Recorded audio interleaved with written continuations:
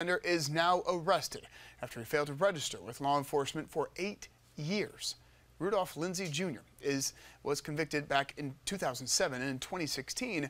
Lindsay, who was living in Union County at the time, told officials he was moving to North Carolina, but he never registered there. The deputies say Lindsay failed to register and evaded law enforcement until they got a tip he was living and working in Duncan.